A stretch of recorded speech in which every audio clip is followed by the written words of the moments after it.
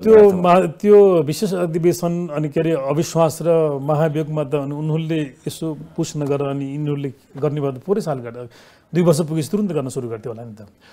यहीँनिर त खेल हुनसक्छ भन्ने मेरो अनुमान हो नि त। दुई साइडतिर उसले खेला हुनसक्छ। जस्तो हेर्नु न जस्तो बिचमा एकजना जासुसका प्रमुख आएर उनले भेटे। त्यसपछि यो खैला बेला सुरु भएको छ हेर्नुहोस्। ओली पनि रिजिट हुँदै गए। आफ्नो भिन्न मत राख्ने नेताहरूप्रति अनि यिनीहरू पनि टसमस नहो नभएर अगाडि बढे कि अनि जुन परिवेश हुनसक्छ तपाईँले हाउसमा भन्नुभयो नि त्यो पनि त यिनको विवेकले नै गरे हुन् भन्ने कुरा कहाँबाट पुष्टि हुन्छ त? ल आफ्नो विवेकले गर्यो भए गरेको भए त त्यो सदनलाई त्यो अधिकार छ म त्यसलाई म सम्मान गर्छु मैले। त त्यहाँ पनि गर्नु पनि ठाउँ छ। तर अब यहाँ दुईवटा कुराहरू आयो कि। मेरो मेरो पहिलो भनाइ के भने कि यो यो पनि गराइएको हुनसक्छ भन्ने कुरा। तर त्यो होइन भने पनि ओली र राष्ट्रपतिले हामी देशप्रति चिन्तित छौँ देशको हित हाम्रो सर्वोत्तम कुरा हो भन्ने यदि उहाँले लेखा राख्नुहुन्थ्यो भने उहाँहरूले कानुन र संविधानलाई मिचेर त्यो कदम उठाउनुभन्दा त बरु त्यो सामना गरेर उहाँहरू पदमुक्त हुँदाखेरि उहाँहरूको इज्जत बढ्थ्यो नि त भने। त्यो पो गर्ने हो नि एउटा एउटा भिजन भएको राष्ट्र चाहने नेता वा लिडरले चाहिँ। अब यो परिस्थितिले गर्दाखेरि झट्ट देख्दा चुनाव त वैशाखमा नभएपछि मङ्सिरमा होला चुनाव त विकल्प छैन। जे जे गरौँ सङ्कटकाल लाउला जे गरौँला तर सर्वमान्य विकल्प भनेको लोकतन्त्र लोकतन्त्रको अन्तिम अस्त्र भनेको चुनाव हो। त्यो चुनावका लागि अब अहिले नेकपाका नेकपा एक रहन सकिरहँदैन सबभन्दा सुरुमा त। होइन यसमा दुईवटा कुरा। अब यो अब अहिलेलाई तत्कालै फुट्न चाहिँ आवश्यक यिनीहरूको अब रहेन। यति भइसकेपछि। तर एउटा अनुशासनको कारवाही केपी ओलीलाई गर्ने भन्ने पछाडि त उनले त अब त्यो खतरा देख्यो। यदि अध्यक्षलाई हटायो भने त उनले अर्को पार्टी बनाउँछन्। अब के देख्यो भने कि जस्तो यसमा दुइटै अगाडि त लाग्ने नै भयो। यताले केही आन्दोलन कार्यक्रमहरू अगाडि सालन प्रचण्डजीहरूले अब ओलीले पनि अब आफ्नो नियुक्तिहरू उहाँले गर्नुपर्ने हुन्छ। नियुक्ति गरिसकेपछि पक्कै नयाँ नियुक्ति भएका मान्छेले केही काम देखाउनु पर्ने होला। अब त्यो अवस्थामा चाहिँ उहाँहरू एक रहन सक्ने अवस्था चाहिँ म देख्दैन। त अहिलेको यो खेलमा चाहिँ उहाँहरू प्रयोग भएको एउटा मुख्य कारण यो पनि हुनसक्छ जस्तो यहाँ एउटा नेपालमा के भइदियो भने कि पश्चिमाहरूले इन्डियनहरूले कम्युनिस्टहरूलाई यहाँ निकै माथि बढाए एक लेभलसम्म। अब माओवादीलाई त इन्डियनहरूले जन्माएका हुन्। नेतृत्व सबै इन्डियाबाट पालित पोषितहरू हुन्। तर भइदियो के भने कि यिनले आफै पालन पोषण गरेका मान्छेले उसले चाहे अनुसार यिनीहरूले सर्भिस दिएनन् यहाँ नै। यिनी अलि बाटो हुन थाले। त्यो हिसाबले पनि अहिले यो पार्लियामेन्टमा मलाई लाग्छ यो कम्युनिस्टको मेजोरिटी चाहिँ उनीहरूको लागि स्वीकार्य थिएन होला। यो जानै त्यो त्यसले गर्दा यहाँले भन्नुभयो जस्तो अर्को चुनाव एक दिन त हुन्छ। तर त्यो चुनावसम्म चाहिँ यो शक्तिलाई यति राख्न आवश्यक नभए हुनाले यो मिलेको पनि यो कुनै प्राकृतिक मिलान थिएन। म तपाईँसँग त्यति बेला मैले भनेको थिएँ। त्यो बेला त हामीले अलिक छिटो फुट्छ भनेको थियौँ अलिक ढिला लाग्यो।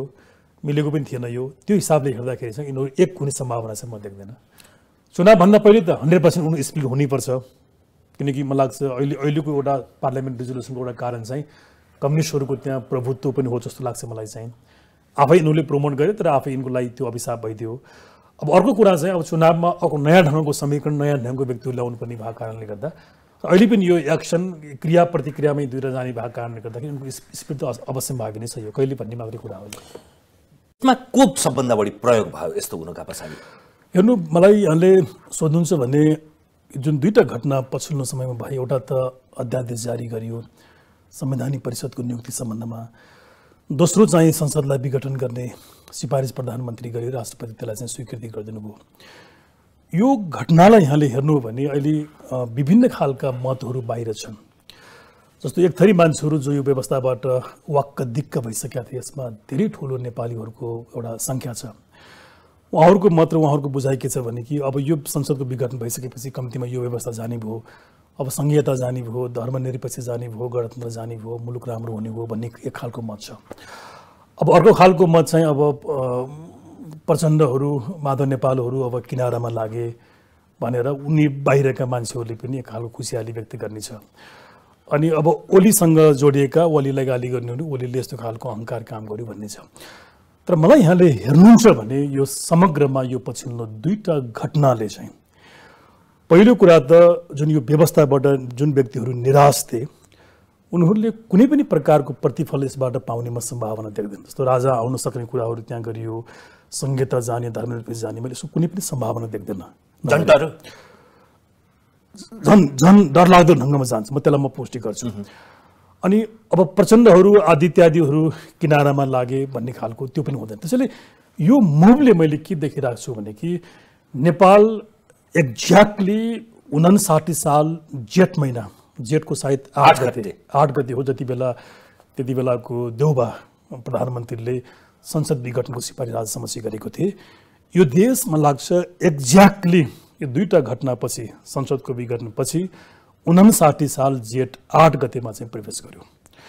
अब आठ गतिमा प्रवेश गरिसकेपछि त्यो आठ गति पछाडिको नेपालको पोलिटिक्स हेर्नुहोस् त्यसको समापन हामीले बाह्र पुँजीमा गएर गऱ्यौँ अनि संविधान पछिको नेपालको व्यथिति नेपालको अराजकता आज मौले भोगिरहेका छन्। त्यसैले यो इभेन्टबाट चाहिँ नेपालीले खोजिएको कुनै सुव्यवस्था होइन कि थप अराजकतालाई निम्ताउने थप अस्थिरतालाई निम्ताउने देख्छु नम्बर एक। अनि सेकेन्ड चाहिँ प्रधानमन्त्री ओलीलाई मैले धेरै पटक बेनिफिट अफ डाउट मैले दिने गरेको छु उहाँलाई। उहाँले नियतले नै मुलुक बिगार्न खोज्नु भएन कि भनेर मैले पटक पटक बोल्ने गरेको छु। तर सँगसँगै के भएको छ भने उहाँ पटक पटक प्रयोग भए जस्तो लाग्छ मलाई। यसपटक पनि थाहा उहाँ पाएर थाहा नपाएर। थाहा पाएर थाहा नपाएर यसपटक पनि उहाँ प्रयोग हुनुभयो र यो यो मुभ मेरो मेरो विचारमा उहाँको लागि धेरै ठुलो आत्मघाती हुने र उहाँको लागि एक प्रकारको अभिशाप अभिशाप सिद्ध हुने म देख्छु। उहाँको हातबाट त उहाँले घोषणा गरे जस्तो निर्वाचन हुनु यो मुलुकमा दिइँदै दिइ- दिइँदैन। म अझै तपाईँलाई कुरा म व्यक्त गर्न चाहन्छु। तेस्रो कुरा यसको मैले खराबी के देखाएको छु भने जुन खराब पात्रहरू नेपालको राजनीतिमा थिए जसलाई नेपाली जनताहरूले यसलाई कारवाही भए हुन्थ्यो यसलाई भ्रष्टाचारको मुद्दा लागे भए हुन्थ्यो यो भए हुन्थ्यो भन्ने खालको जुन अनुमान गरेको थिएँ सायद तिनीहरू अब योबाट सुरक्षित हुन्छन् र खराबीहरू प्रिभेल हुने अवस्थामा जान्छ त्यसैले समष्टिमा यो मुभ चाहिँ मेरो विचारमा हामी देश चाहने हामी कानुनी राज्य संवैधानिक राज्य चाहने व्यक्तिको लागि अभिशाप बन्ने खतरा र सम्भावना चाहिँ म देख्छु कदमले चाहिँ के भयो भने यो कदम आफैमा पनि अवैध भयो अवैध बनाएको कारणले गर्दाखेरि तमाम नेपाली जनताले जुन अहिले अपेक्षा गरेका छन् र अनुमान के गरेका छन् भने कि कम्तीमा अब संसद विघटन भएको कारणले गर्दा यो व्यवस्था गयो संहिताको धर्मनिरपेक्ष गयो जुन भनेका छन् नि त्यो त झन् कहिले पनि नजाने अवस्थामा पुर्याइयो भन्ने चाहिँ मेरो कसरी? बुझाइ छ कि भने अब कसरी त भन्दा अघि मैले तपाईँलाई भनिहालेँ अब उनले गरेको यो कदम नै असंवैधानिक भयो संविधानले यो गर्न र प्रधानमन्त्रीलाई कहीँ पनि ठाउँ दिँदैन संसद विघटनको बारेमा हामी चर्चा गरौँला अहिलेको संविधानमा प्रधानमन्त्रीले कुनै पनि बाहना कुनै पनि सनकमा संसद विघटन गर्न सक्ने ठाउँ चाहिँ छैन। अनि संविधानको विरुद्धमा उनले कुनै काम गर्दाखेरि संविधानका कतिपय कुरामा मेरो असहमति छ भन्ने नाममा त्यसलाई समर्थन गर्ने भन्ने कुरा चाहिँ हुँदैन। त्यस कारणले उनको मुभको वैधानिकतामाथि नै प्रश्न उठ्ने भयो यसमा नै मुलुक विभाजित हुने भयो नम्बर एक अब नम्बर दुई मैले भनिहालेँ यसमा उनलाई थाहा भए पनि नभए पनि यो सबै घटनामा घटनाको पछाडि केही योजना हुन सक्छ कि भन्ने मेरो अनुमान छ।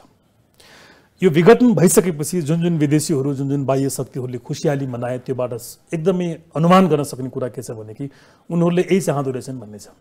अनि उनीहरूले यो विघटन चाहे भन्नुको अर्थ के? राजा ल्याउनलाई यो चाहे भन्ने पनि कहीँ निष्कर्ष निस्किन्छ र संहिता फाल्नलाई ल्याए धर्मनिरपेक्ष फाल्नलाई भयो ल्याए भन्ने निष्कर्ष लिन्छ किन? उनीहरू त्यो त चाहेको चिज हुन् त्यसैले अब त खतरा के भइदियो भने कि यो व्यवस्थाले जुन अराजकता लिएको थियो भन्ने चिन्ता थियो। त्यसको त मल्टिपल कयौँ गुणामा अराजकता यिनीहरूले अब निम्ताउने भयो कि। किन म तपाईँलाई यहीँ दिउँ? अब यिनीहरूले अब दुई दुई काममा यिनीहरूले खेल्छन् अब। एउटा ओलीतिर यिनीहरू खेल्छन् अर्को सडकको मा प्रचण्डजीहरूसँग यिनीहरू खेल्छन्। अनि यो खेलाइ अगाडि बढ्छ बढ्छ अनि उनीहरूले बिस्तारै ओलीलाई उनीहरूले कमजोर बनाउँछन्। अनि सडकमा रहेकालाई उनीहरूले लाय हराएको मान्ने शर्तमा उनीहरूले कायलनामा गरे त्यहाँ अर्को बाह्र चौध बुझे समझदारी गर्न सहमत भयो भने यिनीहरूले पुनस्थापन संसद पुनस्थापन गरिदिन्छन् आफ्नो अभिष्ट पुरा गर्छन्। अनि त्यो सम्भव भएन भने कुनै गतिलो पात्रलाई खिल्लाज रेग्मी टाइपको सेकेन्ड संस्करणमा लगेर उनले चाहिँ निर्वाचन उनीहरूले गराउँछन्। अब यो दुइटै उनीहरूको एउटा मुद्दा चाहिँ अब ठाउँ वे एउटा ओपन हुने भएको कारणले गर्दाखेरि यसबाट उनले धेरैभन्दा धेरै अस्थिरता अराजकता निम्ताउन सक्ने भएको कारणले गर्दा अब त मेरो जुन चिन्ता थियो संहिताको यो खारेज हुने सम्भावना पनि अहिले यो यो देखिँदैन।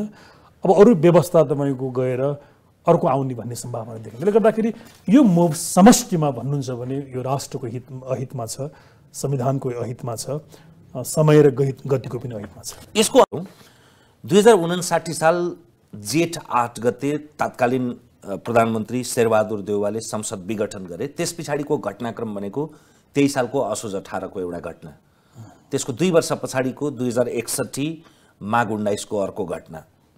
त्यस पछाडि त्यसको एक वर्ष पछाडि मङ्सिर पाँच गतेको बाह्र बुधे समझदारी बैसठीको।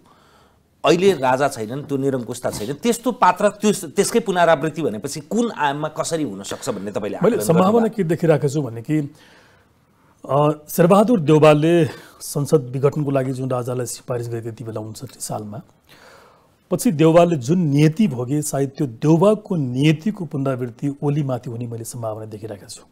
नम्बर एक। नम्बर दुई राजा त छैनन् तर त्यो राजाको अवस्थामा विद्यादेवी भण्डारी रहने अब सम्- सम्भावना म देखिरहेको छु। अथवा अरू कुनै पात्र जुन किल्ला संस्करण जुन नेपालमा हामीले ल्यायौँ पहिलो संस्करण त्यसको दोस्रो संस्करण रूपमा कुनै पात्र राणा अथवा अरू कोही? अनि त्यति बेला सडकमा जङ्गलमा एउटा लाई नेतृत्व गर्ने प्रचण्डजीहरू थिए त्यो अहिले पनि उहाँहरू हुनुहुन्छ। अनि यसको खालको द्वन्द्व जुन नेपालमा तपाईँ बढ्दै बढ्दै बढ्दै गइसकेपछि एकसट्ठी बैसठी कुराहरू आयो बाह्र बुद्धि भयो। र त्यति बेलासम्म के थियो भने कि नेपालको सार्वभौमिकता हाम्रै नियन्त्रणमा थियो संविधानमा अहिले पनि छ। तर बाह्र बुद्धि लेखिसकेपछि र माओवादीलाई शान्ति प्रक्रियामा ल्याउने नाम भइसकेपछि नाङ्गो ढङ्गमा देखिने गरे गर्ने गरी चाहिँ बाह्य शक्तिहरू चाहिँ नेपालमा चाहिँ आए। इन्डिया आयो पश्चिममा जगतहरू आयो अहिले चिन पनि सशक्त छ भन्ने कुराहरू बाहिर आइरहेका छ भन्दाखेरि अब मैले यसको खतरा के देखिरहेका छु भने कि वैशाखमा त यिनीहरूले केपी ओलीको हातबाट चुनाव गर्न दिँदै दिँदैनन् म त्यो पार्ट त मलाई म भनौँला यो पार्लियामेन्ट किन कसले डिजर्भ गर्न चाहन्थ्यो भन्ने बारेमा। अब यो अराजकता यिनीहरूले क्लाइमेक्समा पुर्याइसकेपछि अर्को बाह्र बुद्धि समझदारी गर्नको लागि यिनीहरूले कुनै नायकहरू यहाँ सिर्जना गर्नेछन् जुन नायक चाहिँ मुलुकको लागि घातक हुनेछ। हो त्यो कारणले गर्दाखेरि त्यति बेलाका घटनाहरूलाई तपाईँले एउटा बिम्ब मानेर अहिले जेनलाइज गर्न थाल्नु हो भने चाहिँ मलाई लाग्छ त्यो परिवेशमा चाहिँ यो घटनाका पात्रहरू दोहोरिने र नेपालमा त्यो इतिहास दोहोरिने सम्भावनाहरू